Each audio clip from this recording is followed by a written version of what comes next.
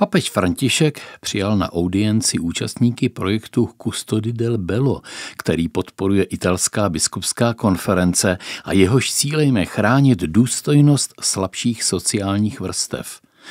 Projekt Custodi del Bello, česky Strážci krás, přináší důležité poselství pro církevní společenství a pro celou společnost, řekl papež František při včerejší audienci – Vřele poděkoval těm, kteří jej uskutečňují za mnoho dobrého. Iniciativa zapojuje chudé, nezaměstnané, migranty, příjemce občanských příjmů v různých italských městech tím, že je koordinuje do pracovních týmů, které se starají o veřejná místa, jako jsou ulice, náměstí, parky, zahrady, památky. Jedná se o lidi v nesnázích nebo na okraji společnosti, kteří jsou placeni po absolvování školení a setkání s místními firmami hledajícími pracovníky.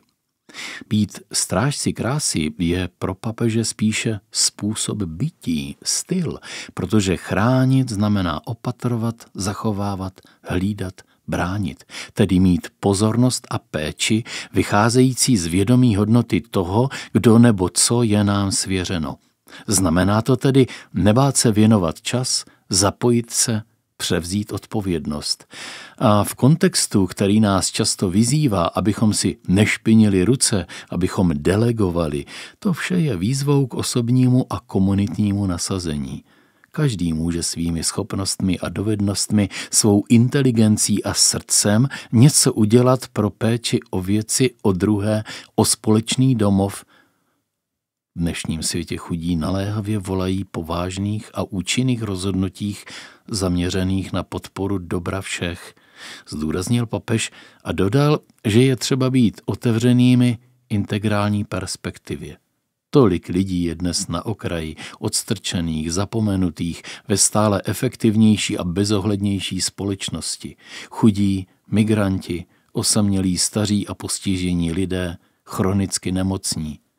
Proto je každý z nich v očích božích drahocený.